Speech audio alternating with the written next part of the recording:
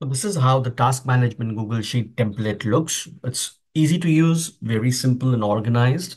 I'll take you through the columns. So here you have the serial number. I already have the serial numbers from 1 to 21. You can add more rows, but I ideally advise to not add more than single digit tasks at a time. That's easy to monitor and focus on completing them. So here the next table has, has the task. So you need to enter what is the task that you plan to do and then mention the priority of the task. So it is high, medium, or low, and you have the color highlighting. So red for high, amber for medium, and green for low. And then mention the estimated time required. So it doesn't have to be accurate. It could be uh, a range that you think is possible. So 45 minutes could also be 50 minutes, could also be 35, but put the best case or best guess that you have as estimated time that lets you plan which tasks you need to take up next, depending upon the priority and the time that you have on hand. And then you have the status. So uh, in status, I have a validation again. So done is when you complete the task. WIP is the active task which you're working on. That stands for work in progress.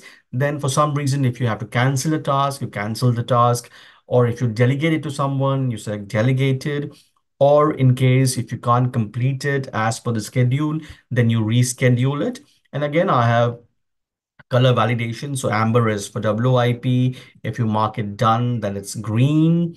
Cancelled is a red color. Delegated is light blue. And then rescheduled. So right now, this is the first task which I'm working on. That's WIP. And I've also given a remarks column. And here you have a small dashboard that tells you the number of tasks planned, seven. So if I add another task, then this count becomes eight. Uh, it gives you the count of completed tasks. So if I complete this one, so I've completed one task that is 13%. So cal calculate the completion percentage. It takes the total count and it subtracts the count of delegated and canceled tasks. So right now it's 13%. And you also have a pie chart here that gives you a breakup of your status. So right now we only have one status mentioned done. So that's what it is. And it says no status for about 88% of the tasks. So let's say if I have completed my first task and if I start working on the next, which is WIP, then you see the pie chart gets updated.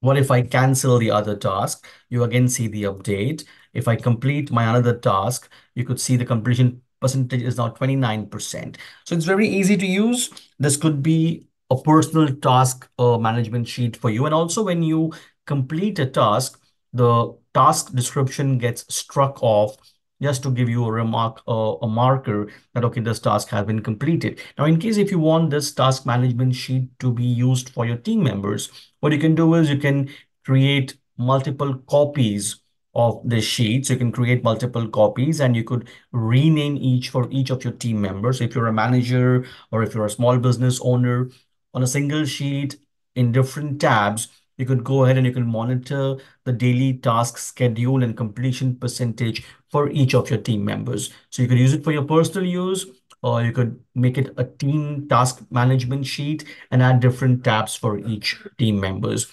If you need further customizations, you can easily go ahead. It's not a protected sheet. In case if you need any help on what you need to add and how you need to do that, mention in the comments below, or you can always visit my website. The link is in the description and fill up the contact form. So thank you for watching the video and have a great day.